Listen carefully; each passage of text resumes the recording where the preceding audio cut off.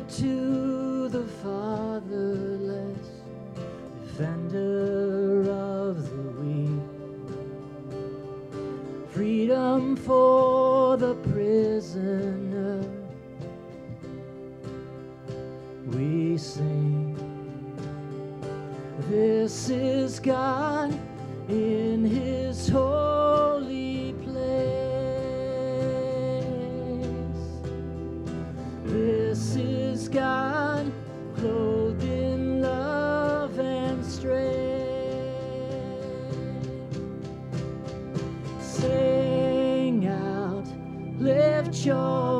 voice and cry out, Awesome is our.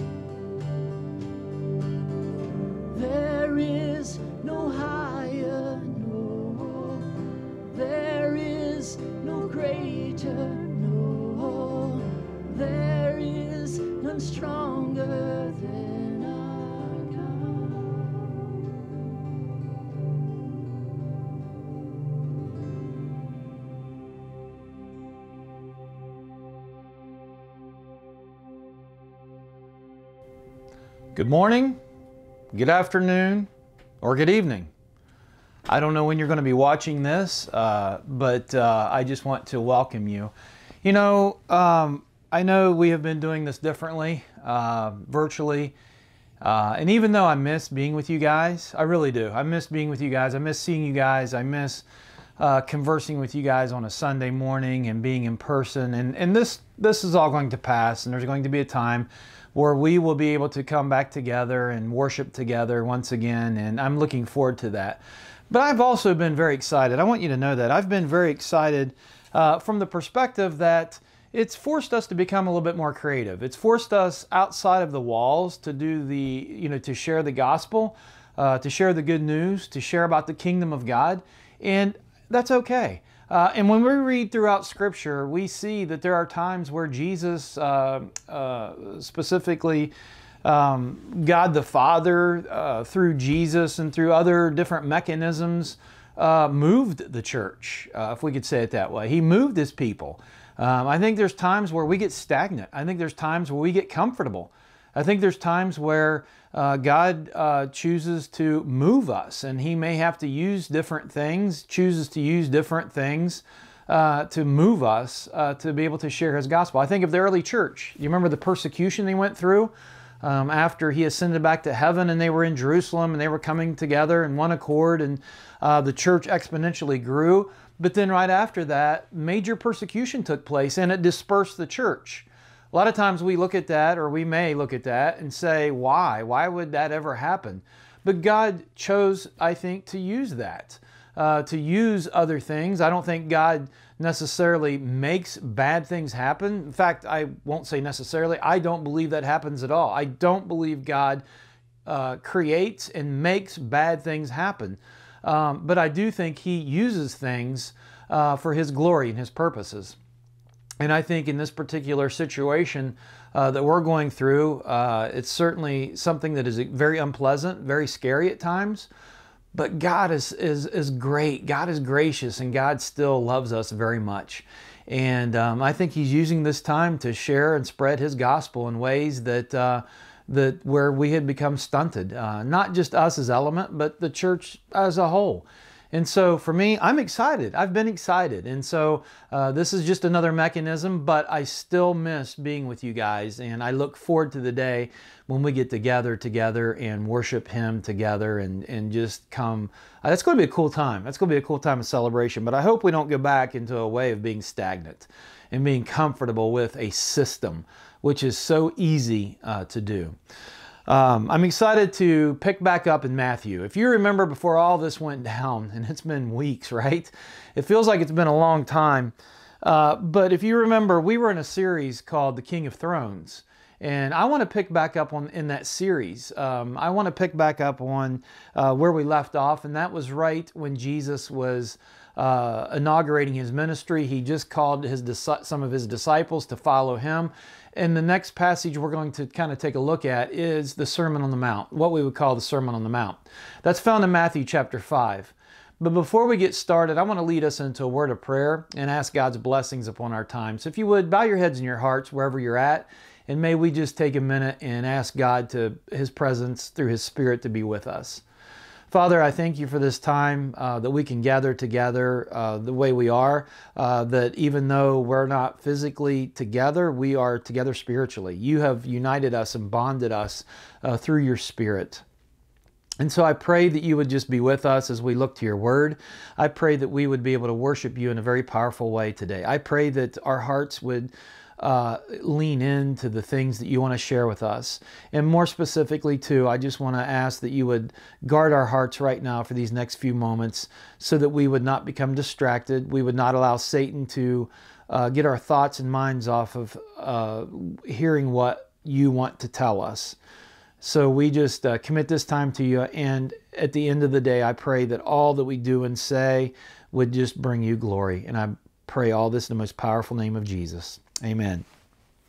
If you would, uh, turn with me to chapter 5 uh, in Matthew, the Gospel of Matthew. And again, we're picking back up where we left off in this series called King of Thrones.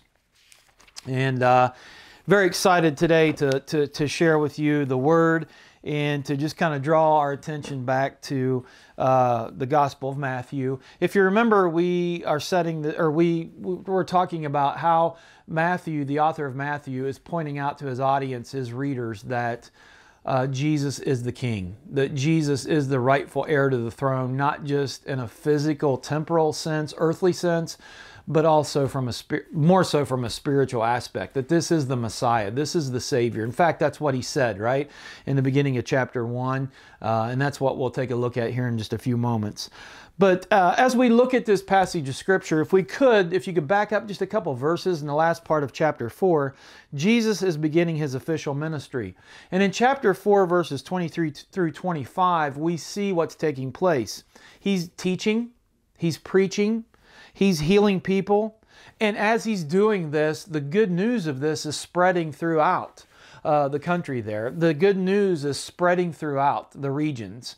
And consequently, because of this, people are coming out of the woodwork uh, to, to see this person Jesus, to see and hear, uh, to hear the authority of his teaching, and uh, probably more specifically to be healed. Because it says in uh, verse, if you would, uh, chapter 4, verse uh, 24, it says, Then the news about him spread through Syria. So they brought him all those who, who were afflicted, those suffering from various diseases and intense pains, uh, the, the demon possessed, the epileptics, and the paralytics. And listen to what he said. It, and Matthew says, And he healed them. Large crowds followed him from Galilee, Decapolis, Jerusalem, Judea, and beyond the Jordan. So these people are coming out of the woodwork to see uh, who this Jesus is, uh, to, to, to come and to be healed. In chapter 5, the next chapter, it says this, and I'm going to let me just read uh, verses 5, verses 1 through 12. And today's going to kind of be an intro to the Sermon on the Mount because this is the greatest sermon ever preached. Obviously, Jesus preached it. Uh, but this is the greatest sermon ever recorded, uh, and it's Jesus teaching us. And I want us to really lean into this. A few years ago, a handful of years now, we preached through the Sermon on the Mount and we talked about it. And so it's going to be fun to revisit this and to glean some of the. Um, other truths and things that uh, we might have uh, not picked up on, or we, we will be reminded of those. So in Matthew chapter 5, verses 1 through 12, listen to the words of Matthew. It says this When he saw me, or me, when he saw the crowds, he went up on the mountain, and after he sat down, his disciples came to him. Then he began to teach them, and this is what he was saying. Verse 3 The poor in spirit are blessed, for the kingdom of heaven is theirs. Those who mourn are blessed, for they will be comforted. The gentle are blessed, for they will inherit the earth. Those who hunger and thirst for righteousness are blessed, for they will be filled. The merciful are blessed, for they will be shown mercy. The pure in heart are blessed, for they will see God. The peacemakers are blessed, for they will be called the sons of God. Those who are persecuted for righteousness are blessed, for the kingdom of heaven is theirs. And then, he, and then it says in verse 11 and verse 12, You are blessed when they insult you and persecute you and falsely say every kind of evil against you because of me. Be glad and rejoice because your reward is great in heaven. For that is how they persecuted, for that is how they persecuted the prophets who were before you. So Jesus goes up uh, on the mountain, and the mountain, if you've been to Israel, uh, it's not really a mountain per se, but it's this it's this hillside uh, that leads down into the Sea of Galilee. Just a beautiful, beautiful area. And when you go there, you can just picture uh, what that would have been like uh, walking or kind of uh, going up and sitting at the feet of Jesus and hearing him speak. But as he's talking, uh, our translation, our English translation, uses this word blessed. And I want to make sure we have the proper understanding of it because sometimes uh, we view this blessed as a sense of happiness. And even though that's part of it, that's not the extent of it, or perhaps uh, the, the extent of how we would define happiness, okay? And this word blessed uh, throughout uh, the the you know the uh, translation of the scripture uh, could could was used about three different ways. The first way, blessed means it's uh, something that's set apart by God by a blood ritual, to be consecrated. Okay, something that's set apart to be consecrated by God, to be used for God uh, through a blood ritual. It's something that, that would be used for God's service, something that is consecrated, for instance, like us as, as believers. The second thing is uh, the, the second translation, or um, the, that we can uh, pick up on with this word blessed is that it means to speak well of, to eulogize or praise God. But to eulogize, such as bless your enemies, it means to speak well of your enemies, to eulogize them, to, you know, something we do at a funeral, right? We come, we deliver a eulogy. That's correct. We deliver a eulogy. We eulogize. We speak well of someone.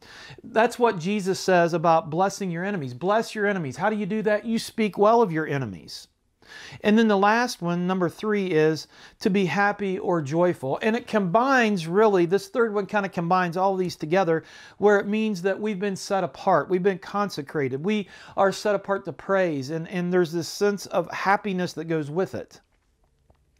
So this third aspect is where Jesus really takes this. Is probably the, the better translation of the word blessed. And it's and again, it's encompassing all of these.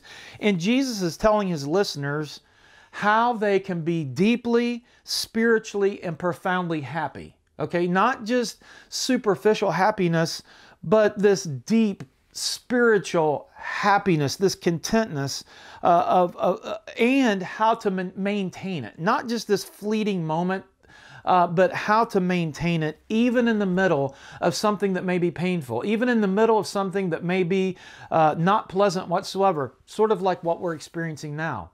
How are we functioning and living our lives today? Are we crumbling? Are we cracking because of the things that's happening in and around us with this whole uh, COVID 19 coronavirus thing? Or are we truly content? Jesus is saying, this picture of Jesus is saying that we can be content, we can be satisfied, we can be full of peace, we can have this deep sense of soul satisfaction.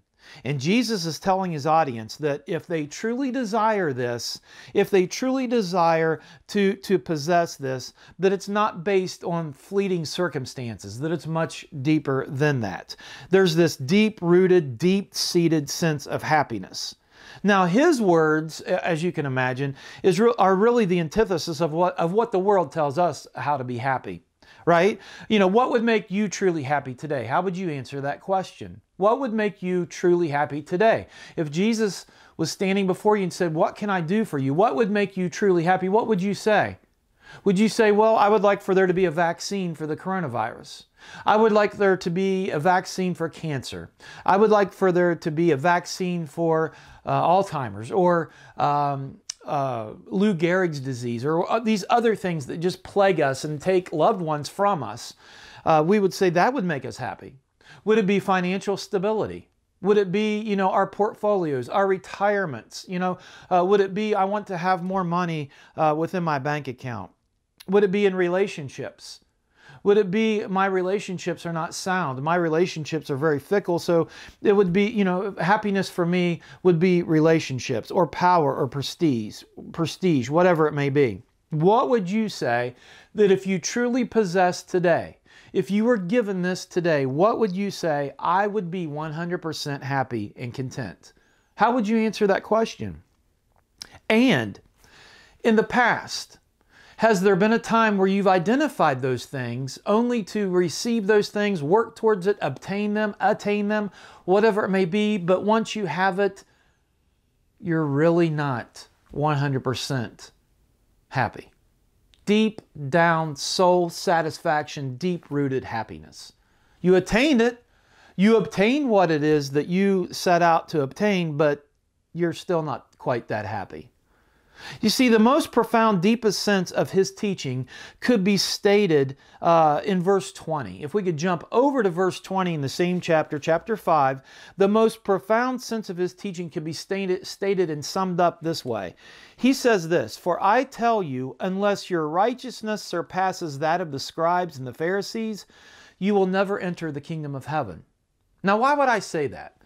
Well, I'm glad you asked that question. And just like last week, I'm going to take a few minutes to answer that question because I think if we look at Jesus' teaching here, the Sermon on the Mount, if we would look at it this way, we're going to, we're going to discover something truly profound here. Think about this. At the beginning of Matthew's gospel, he is calling attention to the sins of God's people, right? At the beginning of Matthew's gospel, if you would look at chapter 1, if we would go back to chapter 1, verse 21, do you remember what it said? Chapter 1, verse 21 says this She, meaning Mary, the virgin, will give birth to a son, and you are to name him what? Jesus. Why? Because he will save his people from their sins.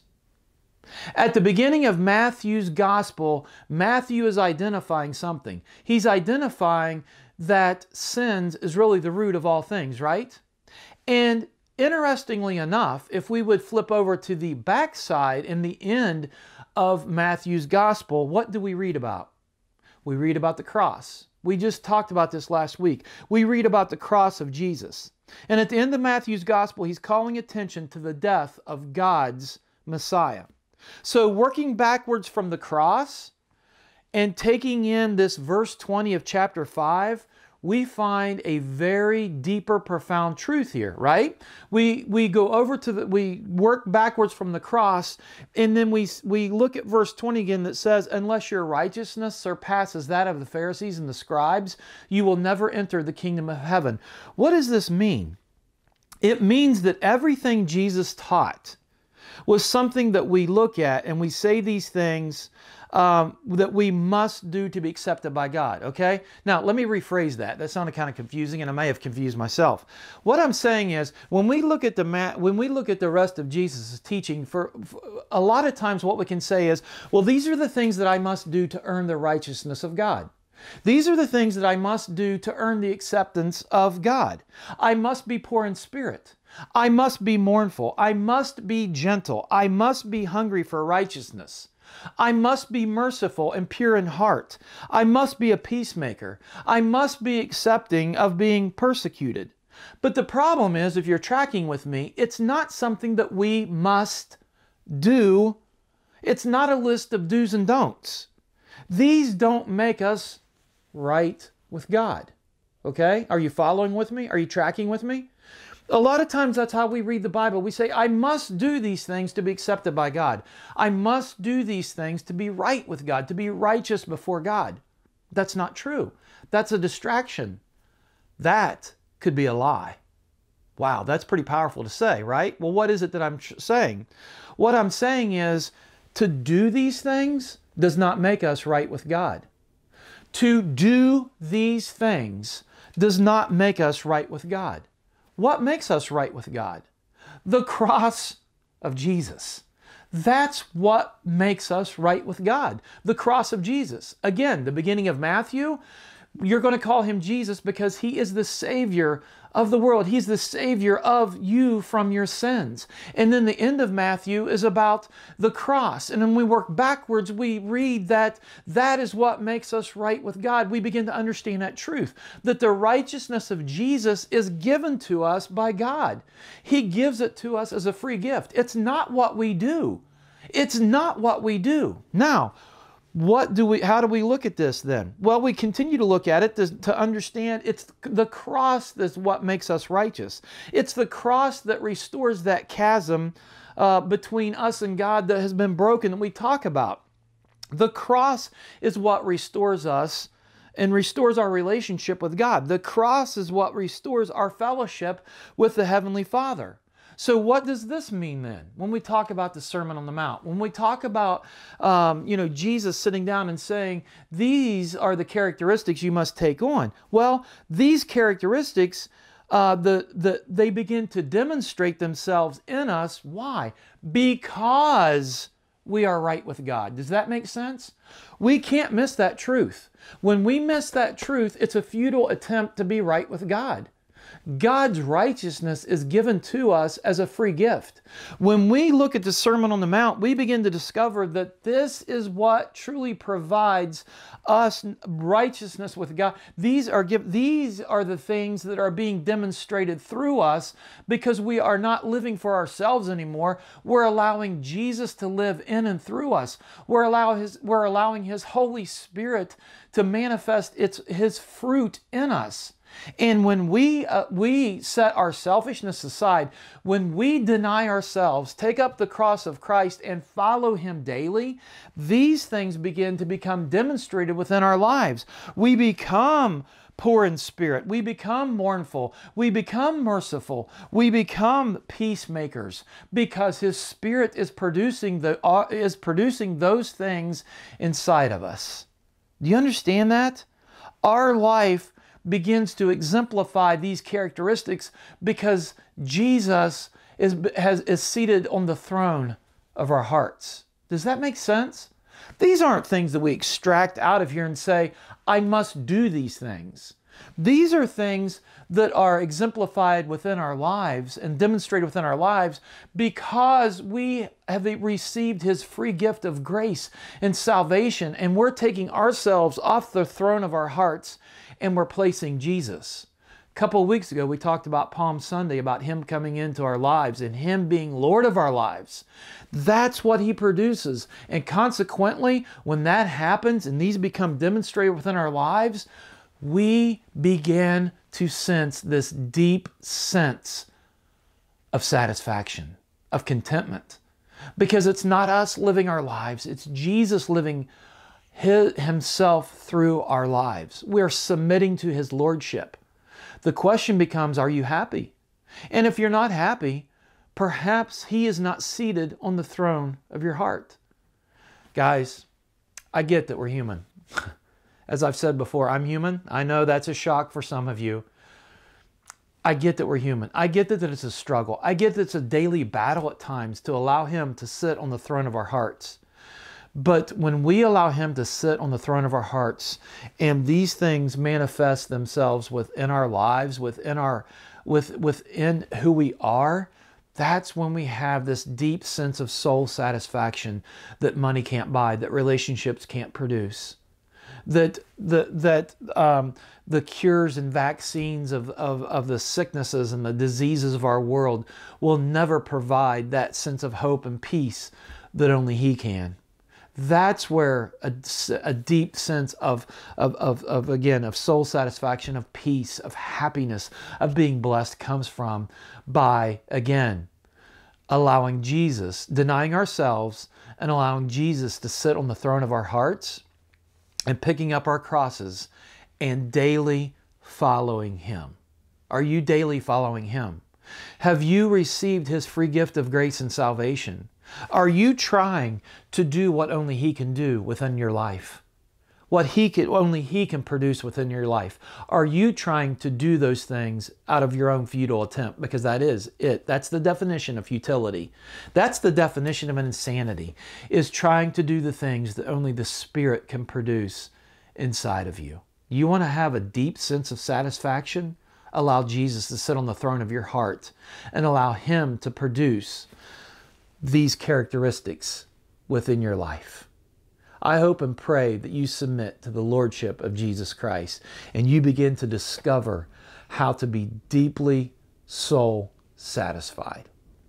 I would like to close with a with a with a word of prayer, and I pray that you would just uh, maybe close your eyes right now, lean into uh, lean into this prayer as I as I just uh, close my time with you right now, and um, just uh, ask God's blessings and His Spirit to move within our hearts. Would you pray with me? Father, we give you great thanks that this is not based upon our own human strengths, that this is not based upon our efforts, that there's nothing that we can do to become righteous with you, but instead it's by allowing you to sit on the throne of our hearts.